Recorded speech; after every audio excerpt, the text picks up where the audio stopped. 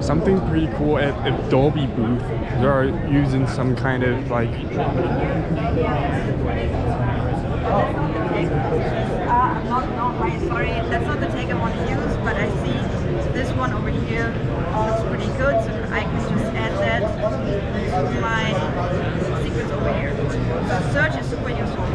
also helps if I need to do some text corrections in my transcript. Because now here, um, the, the, the name Michael is written with a K, but maybe um, it should be written with a CH. You know, names or brand names, those things sometimes get, uh, get picked up uh, um, not correctly because the engine doesn't know what, you know, how um, or like there's different options on how to spell a name. Um, with the search tool, I can easily just replace a word or multiple words, go through my transcript, and then Premiere will update the text correction automatically for me. So I don't have to search for the